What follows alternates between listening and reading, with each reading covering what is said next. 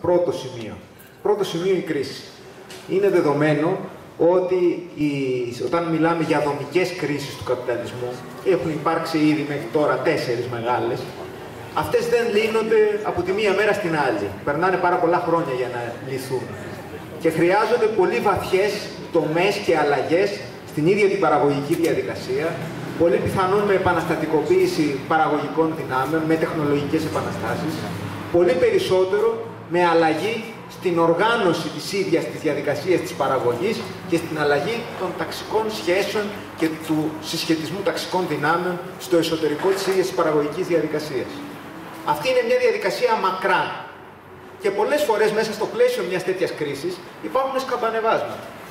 Δεν έχουν μια ενιαία κατεύθυνση, υπάρχουν στιγμές όπου επανέρχονται κάποιοι ρυθμοί ανάπτυξης, υπάρχουν στιγμές που επανέρχονται συνθήκες κρίσης.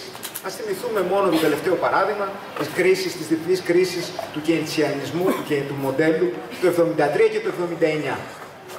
Λοιπόν, ε, είμαστε αυτή τη στιγμή σε μια φάση ξεπεράσματος αυτής της κρίσης. Προς το παρόν, ένα τέτοιο είδος η αναπαραγωγή, η, η δημιουργία ενός καινούριου μοντέλου, όπως ήταν το νεοφιλελεύθερο μοντέλο, που σήμαινε μια επανάσταση στην τεχνολογία, σήμαινε μια επανάσταση στην οργάνωση της παραγωγής, σήμαινε μια τελείως διαφορετική αλλαγή του ταξικού συσχετισμού δυνάμεων, δεν έχει φανεί, δεν υπάρχει ακόμα, δεν έχει βγει ακόμα μια ατμομηχανή μέσα στο παγκόσμιο καπιταλιστικό σύστημα που θα, ξε, θα δείχνει αυτό το ξεπέρασμα. Άρα η κρίση είναι ενεργή και αυτό παράγει συγκεκριμένα αποτελέσματα. Δεύτερο στοιχείο. Αυτή, αυτό το νεοφιλελεύθερο μοντέλο ήταν ένα μοντέλο, και η κρίση του ήταν ένα μοντέλο που οδήγησε, οδηγήθηκε στην ήττα του κεφαλαίου, ακριβώς αντίθετο έχει γίνει. Ο νεοφιλελευθερισμός ήταν ένα μοντέλο το οποίο πέτυχε τεράστιες νίκες για το κεφάλαιο. Κατόρθωσε να ξεθεμελιώσει κοινωνικές κατακτήσεις, λαϊκές κατακτήσεις αιώνων. Όλων των μεγάλων κοινωνικών επαναστάσεων που γίνανε και που μπολιάσανε σε πολύ μεγάλο βαθμό και τον τρόπο με τον οποίο συγκροτήθηκε το, το κενησιανό μοντέλο. Με τις παραχωρήσεις προκειμένου να ενσωματωθούν τμήματα της εργασίας μέσα στο εσωτερικό, ας πούμε, το λένε, του ταξικού συσχετισμού δυνάμεων κτλ. κτλ.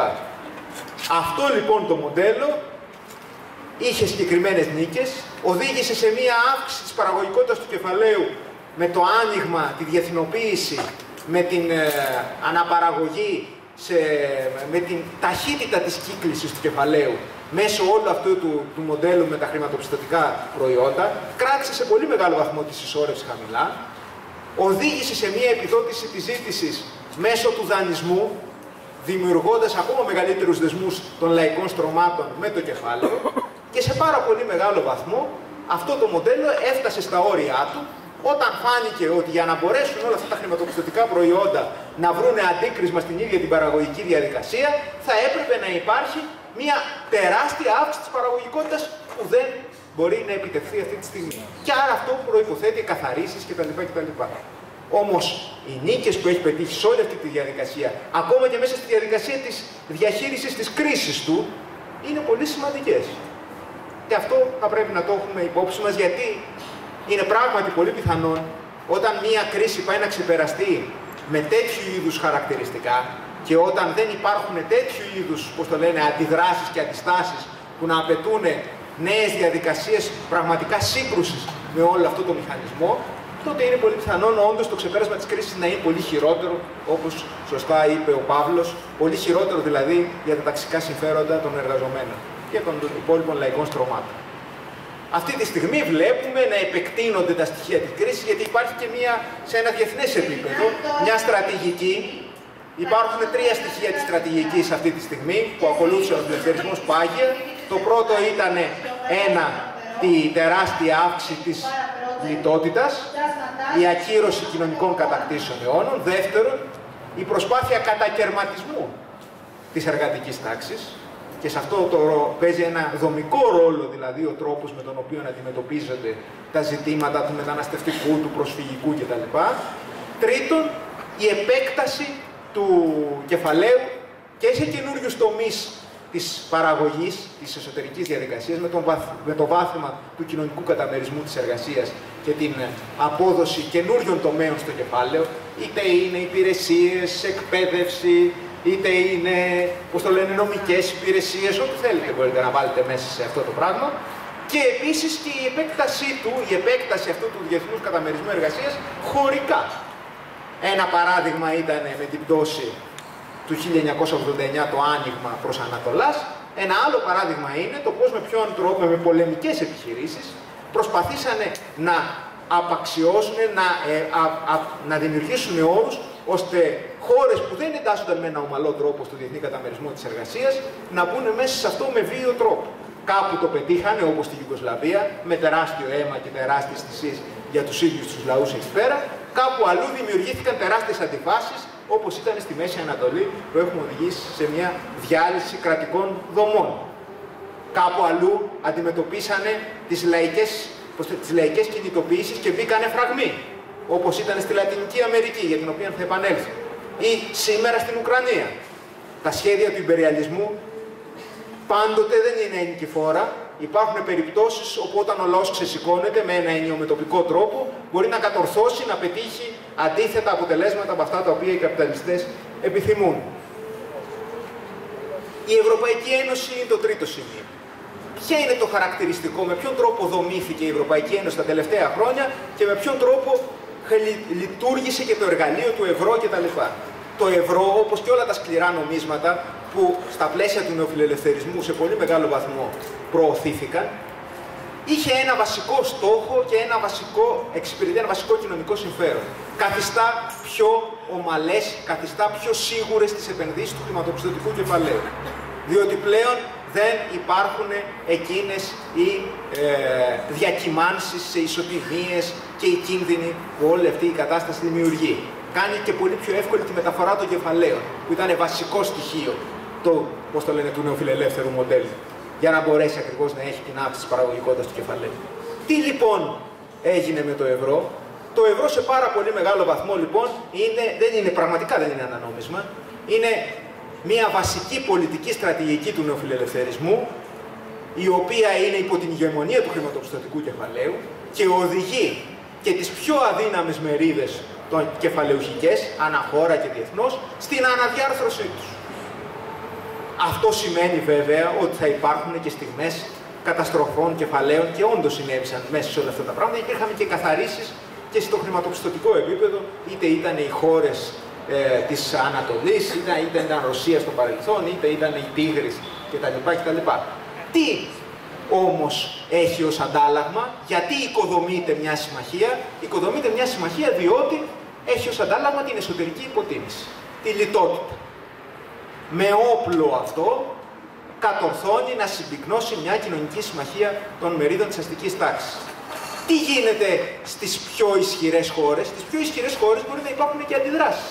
Γιατί υπάρχουν μερίδες του κεφαλαίου και βιομηχανικές κτλ. ας πούμε, οι οποίες σου λένε ότι αυτό το μοντέλο δεν οδηγεί στην αύξηση της παραγωγικότητας και μάλιστα επειδή ενισχύει τις πιο υπεριαλιστικές χώρες, όπως η Γερμανία, ας πούμε, στο εσωτερικό, ας πούμε, το λένε, της Ευρώπης, εδώ υπάρχουν και αντιπαραθέσεις και δημιουργούνται οι κοινωνικές βάσεις του ευρωσκεπτικισμού. Στις πιο αδύναμες χώρες υπάρχει κάτι άλλο. Υπάρχει μια πλήρης συμπίκνωση αυτής της πολιτικής και όλων των μερίδων πίσω, στρατεύονται πίσω από αυτούς τους μηχανισμούς, οι οποίοι ενισχύονται από υπερεθνικούς μηχανισμούς όπως είναι η Ευρωπαϊκή Ένωση. Για ποιον λόγο, διότι στις τα πιο αδύναμα κεφάλαια είναι πάρα πολύ πιο δύσκολο να μπορέσουν να αντέξουν από μόνα τους τον διεθνοποιημένο καπιταλιστικό ανταγωνισμό.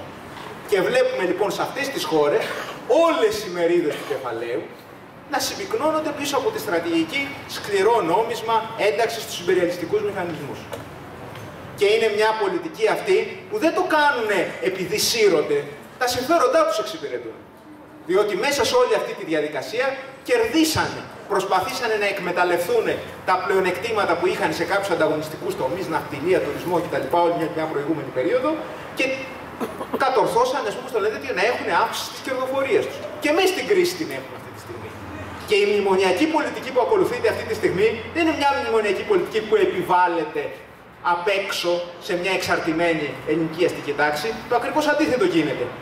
Αυτή τη στιγμή αυτοί είναι που κερδίζουν μέσα σε όλη αυτή τη διαδικασία με την ένταση της λιτότητας, την ένταση της καταστροφής των κοινωνικών δικαιωμάτων, την ένταση του κατακαιρματισμού της εργατικής τάξης, την ένταση όλων αυτών των ε, μέτρων που οδηγούν στο λάτσι να παίρνει μπυρ παρά το ελληνικό, τους τραπεζίτες να ανακεφαλαιοποιούν τις τράπεζες σε πολύ μεγάλο βαθμό χρησιμοποιώντας και τις offshore. Ή οι ίδιοι Έλληνες τραπεζίτες από πίσω για να ξανάρθουν μέσα και το, την α, α, ακόμα μεγαλύτερη πώς το λένε, ενίσχυση του ναυτιλιακού, του εφοπλιστικού κεφαλαίου κτλ. Ένα τέταρτο σημείο που αφορά και τη συζήτησή μας ακόμα περισσότερο. Μέσα σε όλο αυτό το πλαίσιο η προσπάθεια κατακαιρματισμού της εργατικής τάξης με τη δημιουργία διαφορετικών μερίδων και στρωμάτων, όπως είναι παραδείγματος χάρη και οι μετανάστες και οι πρόσφυγες, είναι μια συγκροτημένη πολιτική. Πολιτική ταξικής εκμετάλλευσης και έντασή τους και για τους ίδιους και έντασή τους φυσικά για να κατακαιρματιστούν τα δικαιώματα του συνόλου της εργατικής τάξης, να εκφραστούν οι ανταγωνισμοί μεταξύ τους και αυτό φυσικά αποτελεί και το πολιτικό έδαφος για την ενίσχυση των ρατσιστικών και ακροδεξιών πολιτικών. Αλλά οι ακροδεξιές και ρατσιστικές πολιτικές επιβάλλονται από τις κυβερνήσεις. Δεν επιβάλλονται από την, απλώς από την άνοδο της ακροδεξιάς. Δημιουργώνεται εδώ πέρα και ένας φαύλος κύκλος, ο οποίος σε πολύ μεγάλο βαθμό οδηγεί στο αυτή τη στιγμή να υπάρχει παγιωμένη θεσμική πολιτική σε ευρωπαϊκό επίπεδο που οδηγεί στον κατακαιρματισμό της εργατικής τάξης. Ας θυμηθούμε το σύμφωνο για τη μετανάστευση, το οποίο απαγόρευσε καν τη δυνατότητα να έχεις μαζικές, ε, πώς το λένε, νομιμοποιήσεις μεταναστών. Ας θυμηθούμε την οδηγία της ντροπής που επέβαλε 18 μήνες κράτηση.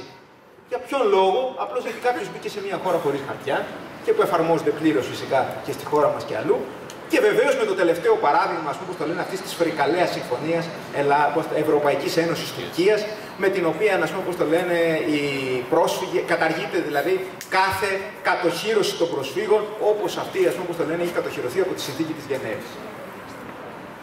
Και με τις παρεμβάσεις που γίνονται αυτή τη στιγμή, το ξέρετε όλοι σας, υπήρξαν συγκεκριμένες παρεμβάσεις τύπου Πιουριφόη προς την ελληνική κυβέρνηση, ότι θα πρέπει οι επιτροπές ασύλου που αυτή τη στιγμή εξετάζουν να κάνουν τα αιτήματα αυτά, να αποδεχθούν ότι η Τουρκία είναι μια ασφαλής χώρα, άρα συνεπώς οι σχετικές αιτήσεις ασύλου να απορριφθούν και αναμένουμε αυτή τη στιγμή, γιατί πολλές επιτροπές δεν συμμορφώθησαν με τις υποδείξεις, αναμένουμε την αντίδραση του Υπουργείου, πολύ πιθανόν με την άσκηση ενδίκων μέσων κατά αυτών των αποφάσεων. Ή με το άλλο που έγινε, που μετέφερε την αρμοδιότητα από επιτροπές όπως του Βύρονα που βγάζανε καλές αποφάσεις, τα πατήσια που δεν βγάζουν ακριβώς και τόσο καλές. Λοιπόν, εν πάση περιπτώσει, η ουσία της, ε, της σημασίας αυτών των μέτρων είναι ακριβώς ότι και στο παρελθόν αυτή η διαμόρφωση ανθρώπων χωρίς χαρτιά, ανθρώπων χωρίς δικαιώματα, ήταν μια συγκεκριμένη πολιτική, ταξική, βοηθούσε και στη συμπίκνωση κάποιων κοινωνικών συμμαχιών με τμήματα μικροαστικά ή κατώτερων αστικών μερίδων που χρησιμοποιούσαν όλους αυτούς τους μετανάστες για να αποκτήσουν μεγαλύτερο μερίδιο υπεραξίας. Ας θυμηθούμε εδώ τι έγινε, ας πούμε, το λένε και με τους Αλβανούς και του τρόπου με τον οποίο, ας πούμε, το λένε, έγιναν αντικείμενο εκμετάλλευσης πλατιών μερίδων κοινωνικών μέσα στο εσωτερικό της ελληνικής κοινωνίας. Ας θυμηθούμε τι έγινε με τα φραουλοχώραφα κτλ. κτλ. Τα ίδια, η ίδια πολιτική είναι αυτή η οποία εξακολουθεί σε ευρωπαϊκό και διεθνές επίπεδο.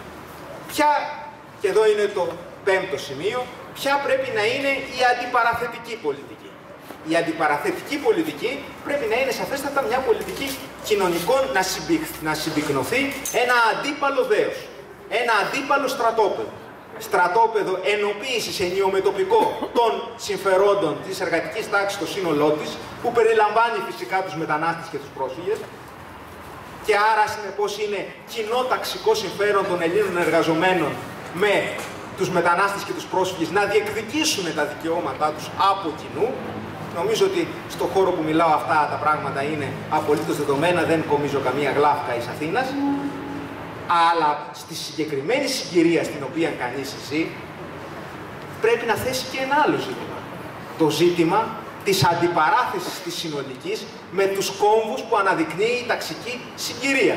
Και ποιοι είναι αυτοί, είναι αυτό το οποίο έχει καταλάβει όλος ο ελληνικός λαός ότι αυτή τη στιγμή για να μπορέσει κανείς να αντιπαρατεθεί στη λιτότητα, για να αντιπαρατεθεί στην υποτέλεια, για να αντιπαρατεθεί στην έλλειψη της δημοκρατίας, πρέπει να έρθει σε σύγκρουση με τους υπερελιστικούς μηχανισμούς και πρώτα και κύρια με το ευρώ. Γιατί το ευρώ είναι ακριβώς το εργαλείο που χρησιμοποιεί αυτή τη στιγμή και ο υπεριαλισμός και η ελληνική αστική τάξη για να συμπυκνώσει την πολιτική της και την κοινωνική της συμμαχία. Και είναι, το καταλάβαμε όλοι στην περίοδο του δημοψηφίσματος ένα χρόνο πριν, ότι σε περίπτωση που αυτό τεθόταν υπό αμφισβήτηση, η ελληνική αστική τάξη ήταν διατεθειμένη να χρησιμοποιήσει όλους τους πολιτικούς μηχανισμούς για να μπορέσει να αντιπαρατεθεί και πέρα και έξω από τα πλαίσια οποιασδήποτε φυσικά συνταγματικής νομιμότητας. Άρα, συνεπώς, αυτή είναι μια πολιτική αντιπαράθεση σκληρή, σύγκρουσης, την οποία όμως αν θέλει κανείς πραγματικά να φύγει από αυτό το φαύλο κύκλο στον οποίο έχουμε βρεθεί, πρέπει να είναι διατεθειμένος να την πάρει. Τίθηκε ένα ερώτημα στην κουβέντα. Το ερώτημα είναι, αν σπάσει κανείς αυτή, αυτό το κόμβο, έχει τελειώσει η αντιπαράθεση; Προφανές πως όχι. Είναι προφανές καταρχήν πως η συγκεκριμένη, τα συγκεκριμένα μια πολιτική αντίσταση στη λιτότητα, μια πολιτική μιας άλλης κατεύθυνσης με εθνικοποιήσεις, νομίζω ότι μιλάμε την ίδια γλώσσα όλοι όσοι είμαστε εδώ στο πάλι προς αυτή την κατεύθυνση, θα έρθει σε άμεση σύγκρουση με την πολιτική και με τους θεσμούς της Ευρωπαϊκής Ένωσης και με τη συνθήκη της Ευρωπαϊκής Ένωσης. Δεδομένο είναι αυτό. Δεν νομίζω ότι υπάρχει κανείς που να έχει καμία αμφιβολία και θα ενεργοποιηθούν και όλοι οι μηχανισμοί της Ευρωπαϊκής Ένωσης εναντίον σου. Αυτό είναι σαφές. Και αν ακόμα βγεις από την Ευρωπαϊκή Ένωση και έρθεις σε σύγκρουση, θα έχεις τελειώσει η σύγκρουση. Λοιπόν, θα έχεις, πώς το λένε, νέες αντεπιθέσεις από τη μεριά της αστική τάξης που θα προσπαθήσει με νύχια και με δόντια να προσπαθήσει να κερδίσει ξανά αυτά τα οποία έχασε. Δεδομένο είναι και αυτό για μένα. Δεν υπάρχει, όπως το λένε, εύκολος και απλός και ήσυχος δρόμος. Και γι' αυτό στη Λατινική Αμερική, ποιο είναι το παράδειγμα; Ότι αν δεν βαθύνεις ακόμα περισσότερο τους κοινωνικούς μετασχηματισμούς, τότε οι αντιπιθέσεις αυτές μπορεί να σε οδηγήσουν και στην ήττα. Και ίσως αυτό είναι αυτό το οποίο βιώνουμε στη Βενεζουέλα σήμερα. Όμως, πριν φτάσουμε στο σήμερα της Βενεζουέλας, στο σήμερα της Αργεντινής, είχαμε φτάσει στο σημείο της σκληρής ταξικής σύγκρουσης που βγήκε ο λαός στο προσκήνιο. Και δεν βγήκε σηκώνοντας τη σημαία μεταρρύθμιση, επανάσταση, καπιταλισμός ή σοσιαλισμός, βγήκε με το προσκήνιο του να αντιπαρατεθεί με τους συγκεκριμένους υπερενιστικούς μηχανισμούς που τον οδήγησαν στην κατάσταση που τον είχαν φέρει.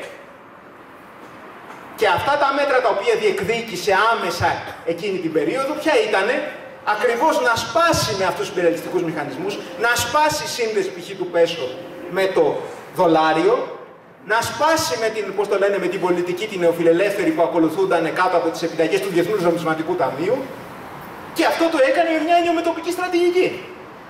Όλοι μαζί από κοινού. Όχι σηκώνοντας σημαίες αντιπαράθεσης και σκιαμαχώντας για το αν πρέπει, ας πούμε, πώς το λένε, να γίνει διπλή έξοδος από, την, από το ευρώ και την Ευρωπαϊκή Ένωση ή πώς το λένε τέτοιο, να πόσο ακριβώς ας πούμε πώς το λένε συγκρουσιακοί θα είμαστε. Γιατί αν δεν δώσεις πρώτα τις συγκρούσεις εκείνες που θα ανοίξουν τον άλλο δρόμο, δεν θα φτάσεις ποτέ στο σημείο να μιλήσεις για ευρύτερους σοσιαλιστικούς κοινωνικούς μετασχηματισμούς. Είναι μια τακτική αυτή και μια στρατηγική τύπου ΣΥΡΙΖΑ. Κατά τη γνώμη μου, απολύτως το αντίθετο. Για έναν πολύ απλό λόγο διότι ο ΣΥΡΙΖΑ ουδέποτε έβαλε το χέρι του πάνω στον κόμβο της ταξικής πάλης, πάνω στο ζήτημα της σύγκρουσης με τους υπηρελιστικούς μηχανισμούς, πάνω στο ζήτημα της εξόδου από το ευρώ. Όποιος λοιπόν ακολουθεί μια άλλη τέτοιου είδους πολιτική, προφανώς με το ΣΥΡΙΖΑ σχέση δεν έχει και δεν πρέπει και να έχει δηλαδή και πουθενά σχέση με το ΣΥΡΙΖΑ. Λοιπόν, όσον αφορά όμως το ότι χρειάζεται να ακολουθήσουμε αυτόν τον δρόμο, νομίζω ότι πρέπει να τον χρειάζεται να τον ακολουθήσουμε μαζί, όλοι μαζί από κοινού ενιαία, γιατί πράγματι, και αυτό είναι το τελευταίο σημείο, όταν είσαι σε ένα, μία φάση όπου αυτά τα μέτρα παίρνονται και περνιούνται με τέτοιο υποτονικές κοινωνικές αντιδράσεις, όταν υπάρχει μια κυβέρνηση που παίρνει αυτά τα μέτρα σκυλεύοντας το όνομα της αριστεράς, και μη οροδώντας μπροστά, ας πούμε, όπως το λένε, στο να φτιάξει ακόμα και στρατόπεδα συγκέντρωσης, που δεν καν πρόσβαση δεν έχει, όπως το λένε, κανένας, Ε, τότε σε αυτή την περίπτωση είναι προφανές ότι ο κίνδυνος, η δυσαρέσκεια, η λαϊκή δυσαρέσκεια που διαμορφώνεται, αλλά δεν παίρνει πολιτικά χαρακτηριστικά, δεν παίρνει χαρακτηριστικά του να βγει στον δρόμο, μπορεί να πάει προς τα δεξιά και μπορεί να πάει όπως προσπαθούν να διαμορφώσουν ένα ενδομνημονιακό διπολισμό, Νέα Δημοκρατία, παρετηθείτε, ΣΥΡΙΖΑ κτλ. Μπορεί να πάει και προς τα δεξιά. Άρα είναι καθήκον μας, καθήκον όσων εξακολουθούμε και πιστεύουμε στην επανίδρυση της αριστεράς, καθήκον όλων όσων πιστεύουμε ότι υπάρχει άλλος δρόμος, καθήκον όλων όσων πιστεύουμε ότι πράγματι αυτός ο δρόμος μπορεί να εξυπηρετήσει τα λαϊκά συμφέροντα, να ανοίξουμε αυτό το δρόμο μαζί.